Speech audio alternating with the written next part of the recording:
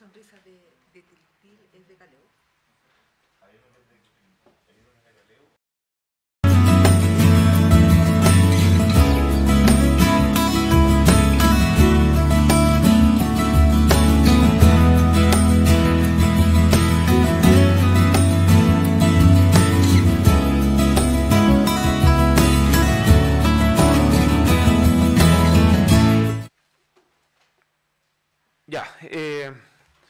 Muy buenos días. Saludo al Consejo Pleno que se encuentra, la concejala Valentina Domínguez se encuentra también conectada de manera telemática, al equipo municipal y especialmente a los vecinos y vecinas de Tiltil que nos van a estar siguiendo y acompañando en esta transmisión de nuestro séptimo consejo.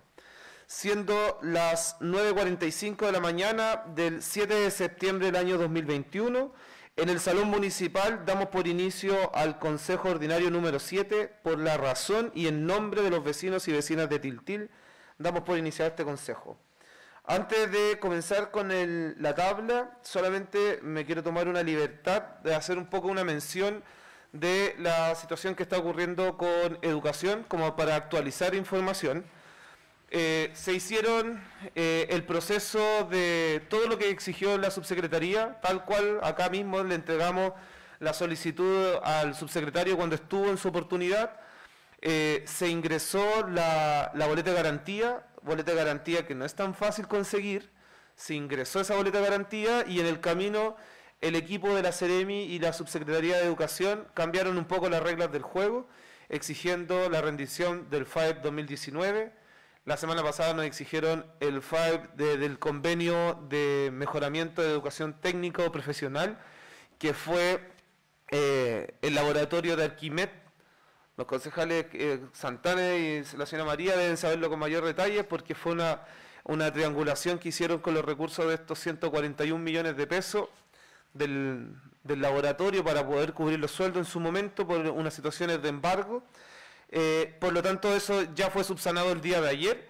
Estamos esperando que, subsanado, ojo, que fue el trámite administrativo de reconocer que esa deuda a través de una rendición por cero. Es solamente el trámite administrativo que exigían los equipos técnicos. Hasta el momento no ha llegado ni un solo peso a las arcas de la corporación municipal. Y eso quiero ser sumamente claro y transparente en eso. No ha llegado ningún solo peso a las arcas de la corporación municipal. Porque de lo contrario, si hubiesen llegado, ya las hubiésemos pagado según lo que corresponde, según lo que correspondía y según los compromisos. Y no solo son lo- los compromisos, sino son las obligaciones legales. Eh, estamos también levantando toda una carpeta de inversión para la mejora de la escuela a través de alianzas privadas, porque la liquidez interna es muy difícil de poder concretar. Eso en síntesis muy generales. Si alguno requiere información específica, con gusto se la podemos hacer llegar en su momento. Vamos a, durante esta semana, a tener la reunión con el equipo técnico y el equipo de profesores y profesoras y asistentes de educación también. Eh, ese detalle del día y la hora no me lo sé en este momento porque lo estaban coordinando desde gabinete. Eso. Primer punto en tabla, entonces. Sanción de actas, Consejo Municipal de las sesiones con fecha 10 y 17 de agosto del año 2021. No sé si hay alguna observación, algo que mencionar o desean simplemente votar. Extiendo la palabra al Consejo. ¿No? Entonces sometemos, no sé si les, les parece, sometemos las dos al mismo tiempo o por separado, como ustedes quieran. Las dos juntas. Entonces, como primer punto, sancionamos en conjunto actas del Consejo Municipal con eh, fecha 10 y 17 de agosto. Concejal César, Apruebo. concejal Camilo, Apruebo. concejala Valentina.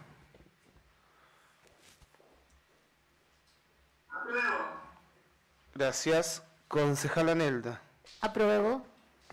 Concejal Santana, Apruebo. concejala María. Aprobó alcalde. Yo también apruebo. Con siete votos a favor, ninguno en contra, por lo tanto se aprueban las eh, actas de sesión de fecha 10 y 17 de agosto del Consejo Municipal.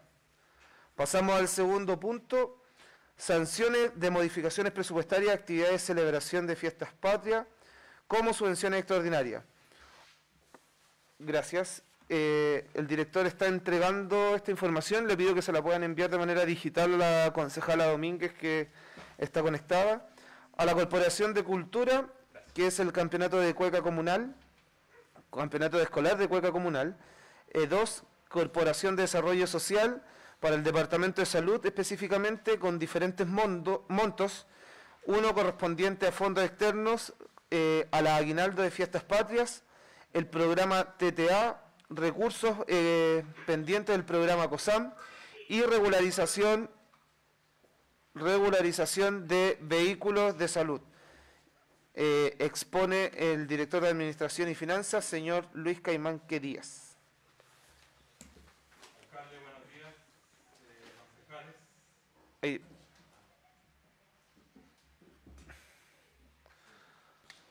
Ahí. Sí. buenos días, alcalde, concejales. Eh, bueno, esto es una propuesta de modificación presupuestaria que el día viernes se trató en una reunión de trabajo, en el cual consta de dos eh, partes. La primera modificación es con respecto a los recursos que llegan al sector de, eh, de la Corporación, Salud, Educación y Junji para el concepto de eh, aguinaldo de fiestas patrias. estos recursos llegan a través de la Tesorería General de la República y son recursos que llegan para, eh, entregárselos a los funcionarios de cada sector.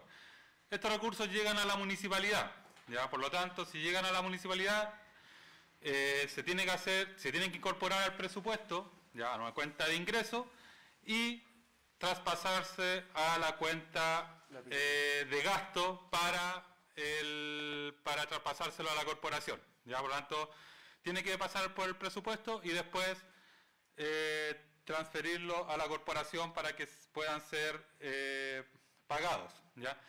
Estos siempre llegan al filo del tiempo, ¿ya? es por eso que estamos nosotros haciéndolo ahora con tanta premura del tiempo. Lo mismo va a pasar después para eh, los aguinaldos de Navidad. ¿ya?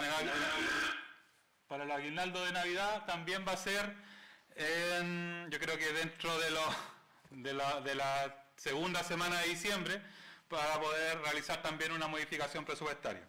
Para el sector salud, para el sector salud son 7.474.528. Para el sector educación, entre 84.848 y para la JUNGI que también está dentro del presupuesto, son 2.791.044. En total son 33.150.420 y que vienen para el sector público, o sea, del tesoro público, por eso se tiene que traspasar a, la municipalidad. La otra parte de esta modificación corresponde a programas de salud, ¿ya? que son programas eh, de trazabilidad, resolución 543, y programas COSAM, que es PAP 2021, resolución 1365, por 133.975.33. En total son 149.251.098 y es lo mismo. Acá tienen que ingresar a la cuenta, al presupuesto municipal de una cuenta de ingresos y después tenemos que también imputarla a una cuenta de gasto y pasársela a la corporación para que ellos puedan administrar. Estos son dos programas, uno de trazabilidad, que estos recursos eh, a través de correo electrónico yo les mandé las resoluciones, ¿ya? Eh, y, ahí sale también los montos que hay que realizar y los plazos y en qué se puede gastar estos, estos recursos. ¿ya? Eh, esa es la primera modificación presupuestaria, ya con respecto a lo que son los traspasos de recursos. La otra es una propuesta también de modificación presupuestaria y subvención municipal, en el cual eh, bueno, hay que ver que son 8 millones de pesos para la actividad de fiestas patrias, en el cual 2.500.000 pesos se quiere realizar para hacer una subvención a la Corporación de Cultura, ya para... Disculpe, para... alcalde, silenciaron al Consejo Municipal y no se escucha nada. El Pablo ahí Lo vamos a resolver al tiro, concejal. Gracias. ¿Todo de nuevo no?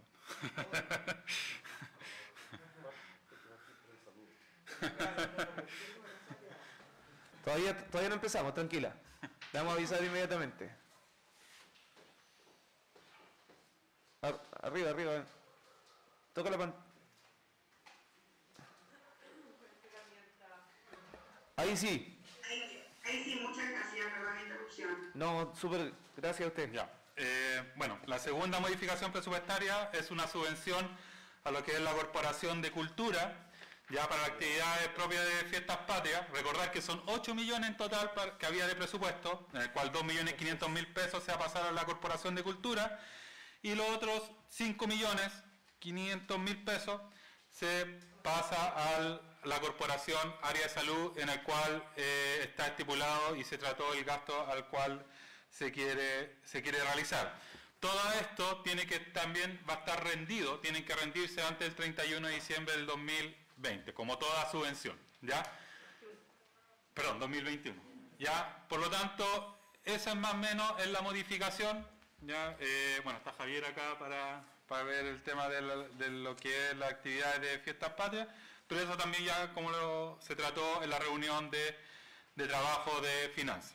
No sé si tienen alguna consulta, alguna pregunta. Sí, solamente me gustaría complementar algo que lo, lo conversamos en la reunión de trabajo del viernes pasado, pero no se ha aclarado también para la ciudadanía, que he tomado la decisión de suspender las celebraciones de fiestas patrias como tal por dos razones. Uno, la situación sanitaria, que no podemos eh, correr riesgos todavía, eh, es una situación delicada. Hemos estado viviendo situaciones de más aforo, de más libertades, que las cuales debemos cuidar, pero sobre todo debemos cuidar a nuestros vecinos y vecinas.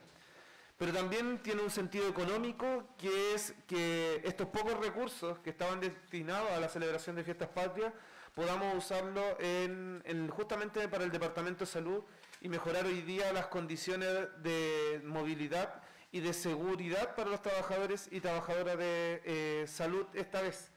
Hay otras modificaciones que van a suceder durante el año que vamos a estar definiendo también para la Corporación de Desarrollo Social. Hay mucho por hacer. Nos encantaría, perdón, nos quedamos sin combustible. Eh, nos encantaría poder eh, ir subsanando rápidamente, pero los procesos administrativos y los procesos eh, públicos requieren tiempo. Eh, he sabido, el, el mismo día de ayer estuve en la firma de un convenio de transparencia en el gobierno regional con 35 alcaldes y alcaldesas de la región y conversaba con uno de los alcaldes que decía, pasan elefantes blancos por el lado de la Contraloría y objetan y denuncian a las administraciones por pagar, no sé, un, un paseo a adultos mayores a la costa y financiar un, un pescado frito con ensaladas. O sea, por esa misma razón es cuando uno que ser mucho más responsable con el uso y la administración de los recursos públicos, porque no son recursos particulares, son recursos de todos y todas las chilenas y chilenos. Y por lo tanto, ahí vamos a ir actuando siempre en el, en el marco de, de la responsabilidad en estos usos. No queremos cometer esos mismos errores que nos significaron hoy día estar como estamos, sino que más bien cómo hoy día somos un aporte y mejoramos esto. Y una forma de comenzar a mejorar esto es, comenzar a hacer las cosas bien. Eh, por esto mismo es donde hacemos estas modificaciones presupuestarias y las sometemos a discusión y, votación. Eh, ante esto, cedo la palabra si alguien tiene alguna observación, algún comentario o sometemos inmediatamente a votación. Sometemos a votación entonces. Eh, vamos a, por separado, eh, primero vamos a votar el traspaso eh, al sector salud, sector educación y sector Junji, correspondiente a los aguinaldos. Eh, y, los programas de salud también, eh, trazabilidad y COSAM. Y después aparte la modificación referente a las fiestas patrias. Primera modificación, traspaso a la corporación en aguinaldo fiestas patrias y programas de salud. Concejal César. Apruebo. Concejal Camilo. Apruebo. Concejala Valentina. Apruebo. Sí me gustaría que después revisado los montos y ejecutado los programas, principalmente el de salud, se haga un informe, porque leí todo, todo lo que implica, que es compra de celulares, eh, son, son hartas cosas en el fondo de, de trazabilidad, entonces ver realmente que los dineros se estén ocupando en el, en el convenio como tal. Per- Eso, pero apruebo, gracias. Perfecto, le podemos pedir a la directora que venga a hacer una presentación también, mejor aún. Concejal Anelda, Apruebo. concejal Santana, Apruebo. concejala María. Aprobó alcalde. Yo también apruebo, se aprueba la modificación, por lo tanto, con siete votos a favor, ninguno en contra, eh, referente a los aguinaldos y programas de salud. Sometemos a votación incluso eh, modificación presupuestaria, redistribución, gastos, programa actividades fiestas patrias 2021 y traspasos para el área de salud. Concejal César, Apruebo. concejal Camilo, Apruebo. concejala Valentina, Apruebo, alcalde. concejala Nelda. Apruebo. Concejal Santana. Apruebo.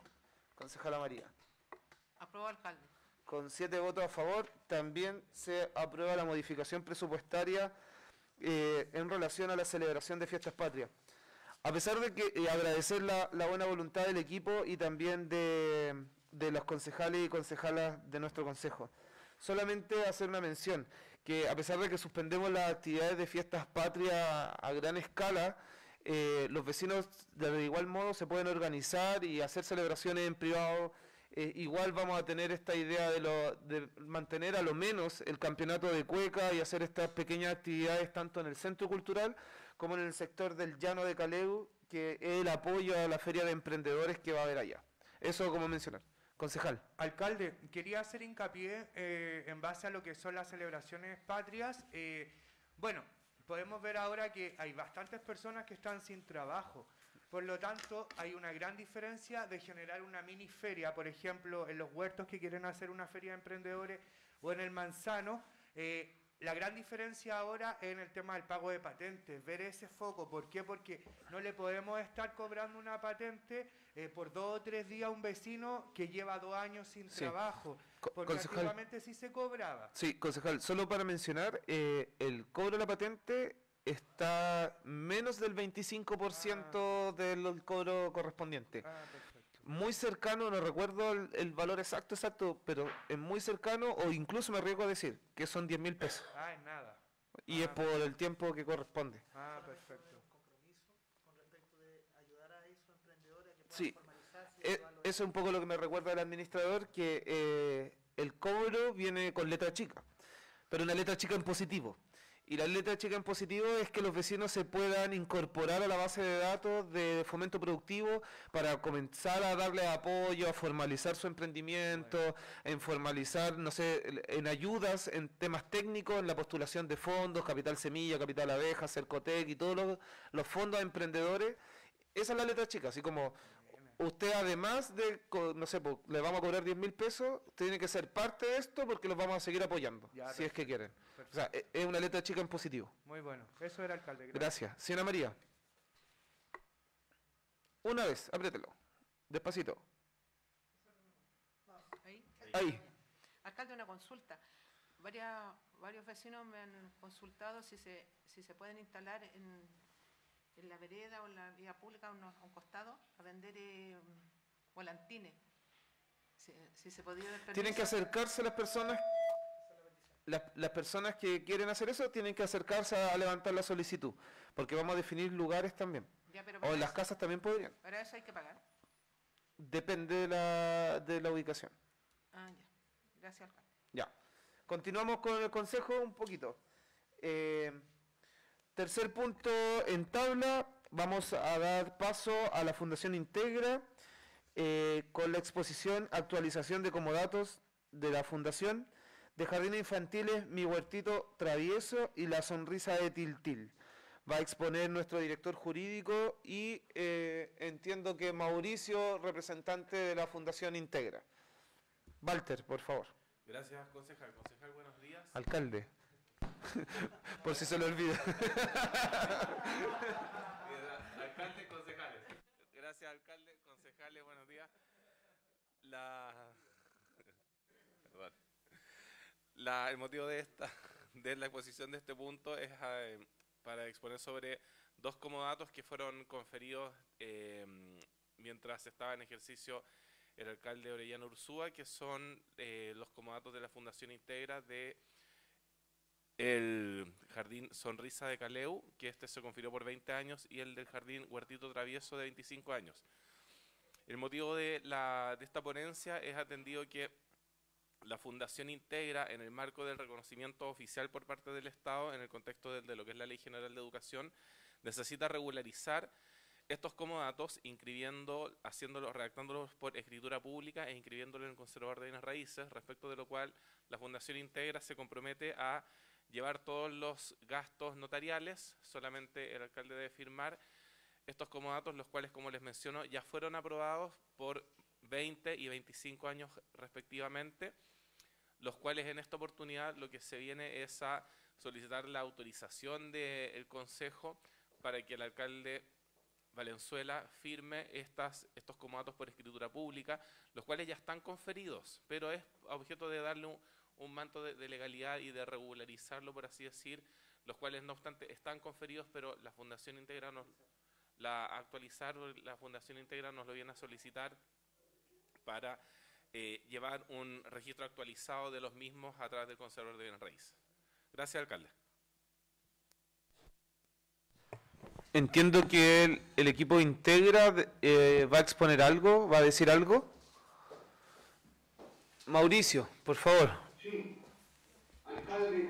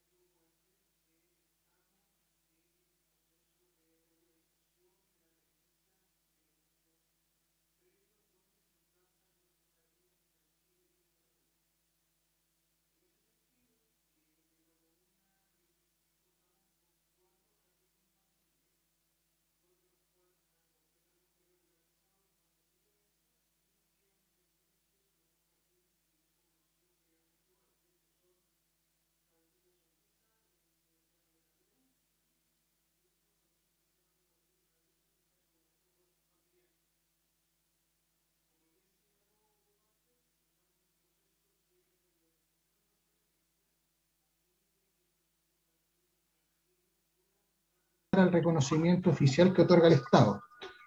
En la actualidad nosotros contamos con como datos vigentes por parte del municipio, pero dichos instrumentos fueron otorgados mediante instrumentos privados, lo que no nos permite optar al referido conocimiento. Es con ese fin que solicitamos participar en esta audiencia a fin de explicar que nuestra intención es que los datos vigentes sean otorgados por escritura pública de manera tal de poder inscribir dichos contratos en el Conservador de Bienes Raíces de Santiago y de esa forma optar al reconocimiento oficial. Dichos requisitos eh, son los que nos establece al efecto el decreto 315 que regula nuestra actividad como la Ley General de Educación. Por tanto, son requisitos perentorios establecidos por la ley, por tanto nosotros como institución dependiente del Ministerio de Educación nos debemos regir por dichos eh, eh, por dicha disposición. En ese escenario, eh, nuestra intención, reitero, es obtener el acuerdo del Consejo a fin de que el alcalde pueda suscribir los contratos de comodato que ya se encuentran aprobados por la Dirección Jurídica del municipio, de manera tal que solo restaría el acuerdo del Consejo para que el alcalde los pueda suscribir. Y como bien señaló Walter en su intervención, nuestra fundación asumirá todo y cada uno de los costos que conlleva eh, dicha eh, formalización de los contratos. Esto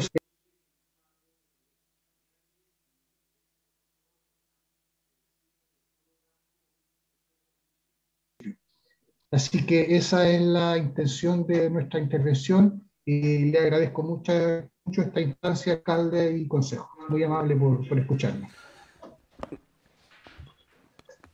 Estamos ahí. Al botón con la mano nomás, Pablo. Ahí sí. Eh, Mauricio, gracias a ti. Eh, consejo, concejales, concejalas, alguna intervención, alguna consulta que quieran desarrollar. Concejal Mena. Eh, sí, la verdad que el Ministerio de Educación exige que estos comodatos deben ser renovables cada cinco años y que deben ser por escritura pública. Lo que me llama lo que me llama un poco la atención es por qué el, el comodato que ya había firmado el alcalde anterior, eh, debieron ustedes haberlo llevado a una notaría y haberlo traspasado con una protocolización y eso hubiese sido suficiente. Pero si lo importante es tener claro que si el comodato se va a respetar la fecha desde cuando se inició, del día del 2013. Es solo la actualización del instrumento, no de la fecha. Solamente la Solo el instrumento para que puedan inscribirlo ante notario público y va a ser el, proceso para el reconocimiento. La fecha se mantiene tal cual desde esa firma de contrato. Perfecto. No se tampoco los años, solamente se mantiene, se mantiene exactamente, ya, perfecto. Es solo el trámite administrativo para que hagan la inscripción. Sí. Exacto. Porque hoy día en estricto rigor la vigencia yo lo podría firmar porque ya está entregado. Pero decidimos traerlo al Consejo justamente en conocimiento público, en conocimiento de ustedes como cuerpo concejal para en un trabajo transparente con la comunidad y también con la institución. Perfecto. Yo eh, esto yo pedí que se solamente se expusiera es voluntad del Consejo si quieren sancionarlo inmediatamente o se lo se posterga para la próxima semana. ¿Ahora? Ya. ¿Lo hacemos ahora entonces? Ya. Eh, entonces, por voluntad del Consejo, no sé si la concejala Domínguez alguna algún comentario, o, para que se sancione inmediatamente. No, sí, era solo una pregunta. ¿Son 25 años, años más en el fondo desde el 2013 en adelante o ahora desde el 2021 en adelante? Esa figura no me queda clara. Mantiene la fecha original del 2013. Solamente el proceso de, para la inscripción del documento ante la autoridad correspondiente. Sí, por favor. Concejala, se mantiene la fecha de inicio del comodato, pero también la fecha de término. Por lo tanto, son 25 años desde el año 2013. Por lo tanto, no hay ninguna modificación en ningún plazo, ninguna fecha, sino solamente en la regularización del instrumento para, que ellos puedan inscribirlo.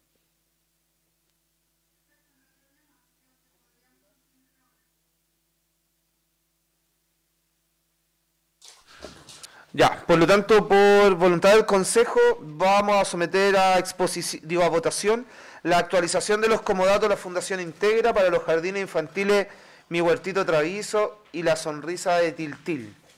Concejal César. Apruebo. Concejal Camilo. Apruebo. Concejala Valentina. Apruebo, alcalde. Concejala Nelda.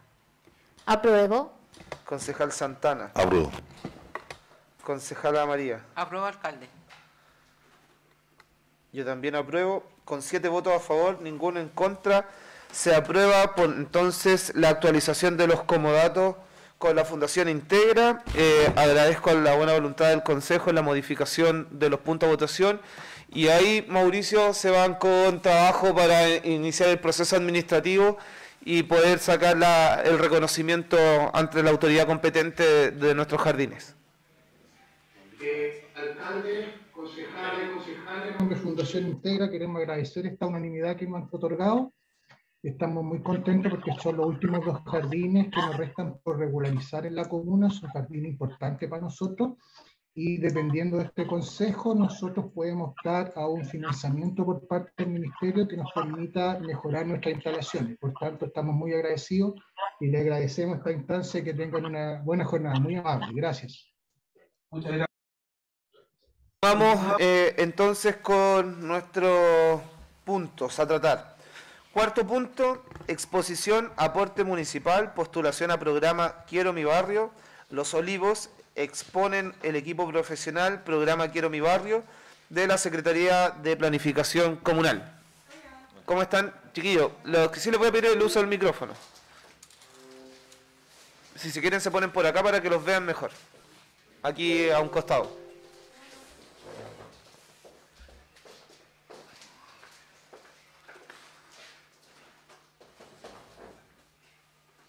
Ahí nos van a ayudar. Hay presentación, ¿cierto? Sí. Perfecto.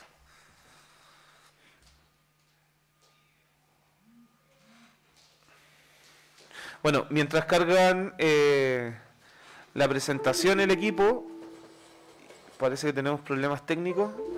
Eh, hacer mención de que Quiero mi barrio actualmente se encuentra operando en el sector La Isla, la población La Isla, en la calle José Manuel Aguilar tienen su sede de operaciones y han hecho diferentes intervenciones y trabajo con vecinos y vecinas del entorno.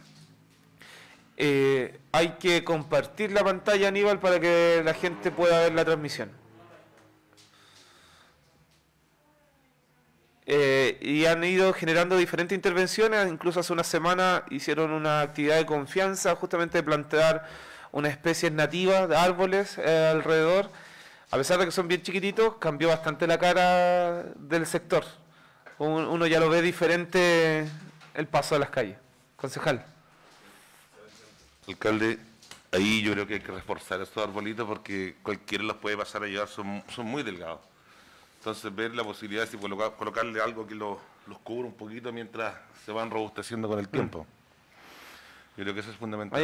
o si no, la, inversión y el sacrificio y todo el esfuerzo de los vecinos se va a perder. Se va a perder, sí.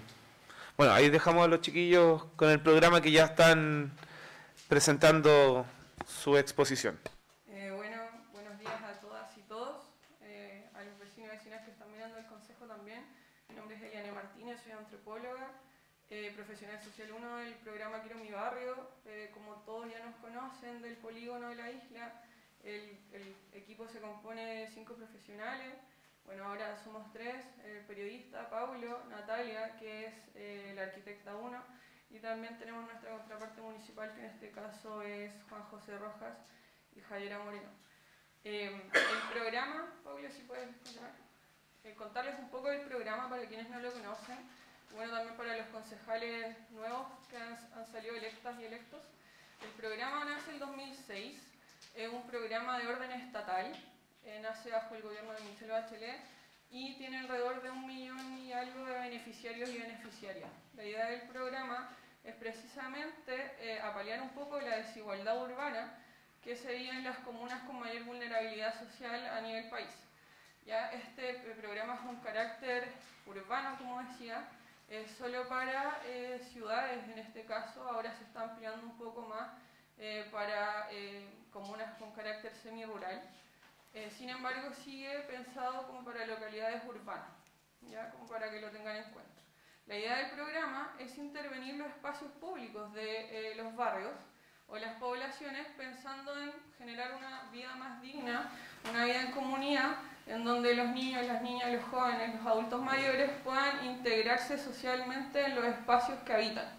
Que la gente sea parte de los territorios, se reapropie y resignifique, eh, en este caso, los barrios donde viven. ¿Ya?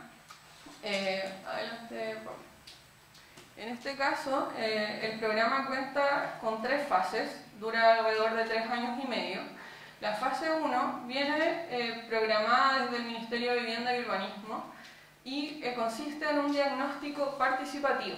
Esto es sumamente relevante, entender que el programa es uno de los pocos programas a nivel de políticas públicas que considera la participación ciudadana de facto. De hecho, uno de los eh, programas y de las políticas públicas con mejor evaluación a nivel país, ya que considera no solo la voz y la, de las personas, sino también su, su capacidad de elección.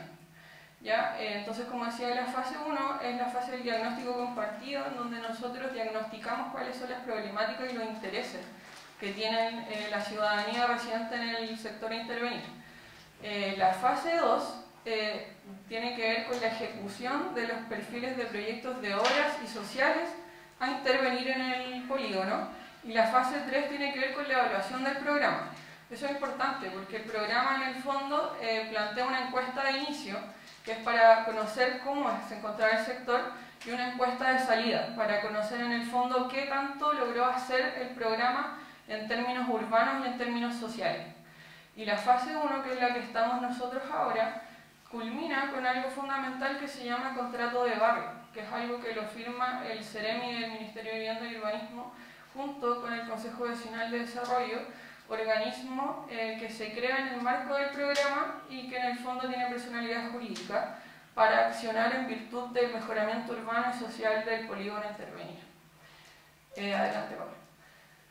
Un poco para que sepan qué es lo que nosotros hemos hecho en el programa y entiendan por qué es fundamental postular a otros programas acá en Textil. En el fondo nosotros acá ustedes pueden ver fotos de, que, de lo que se trató en nuestro diagnóstico compartido, en donde hicimos desde mapeos colectivos hasta eh, talleres de autodiagnóstico y recorridos barriales. Todo esto tiene que ver con la metodología que se conoce en términos cualitativos como investigación y acción participativa, eh, que en el fondo uno se propone desde el territorio accionando junto con las comunidades. Eh, adelante, En base a ese diagnóstico, nosotros llegamos a ciertas problemáticas en conjunto con la comunidad que se tendrían que atender no solo problemáticas, sino también intereses, que es algo muy eh, trascendental, ver el potencial que tiene cada uno de los territorios y el potencial que tiene cada una de las comunidades. En este caso, como ustedes saben, el barrio de la isla se compone, en, esto, eh, en el caso de nosotros, de tres barrios, que es la isla, Manuel Rodríguez y Villa La Paz. Nosotros accionamos con estos tres espacios. Y llegamos a estos eh, cuatro perfiles de proyectos de obra que prontamente los vamos a estar priorizando en conjunto con la comunidad y tiene que ver en el fondo con eh, la eh, reestructuración de las plazas fundamentales, que son ejes significativos para la comunidad, eh, que son en el fondo las plazas originales de, como hitos fundantes desde que se crearon estas poblaciones. También la modificación de las explanadas recreativas, que apuntan en el fondo a espacios de deporte y recreación a eh, una ruta accesible, debido a que identificamos que hay sectores en donde no se cumple con la normativa de acceso universal y hay un porcentaje mayor de adultos mayores que circulan por las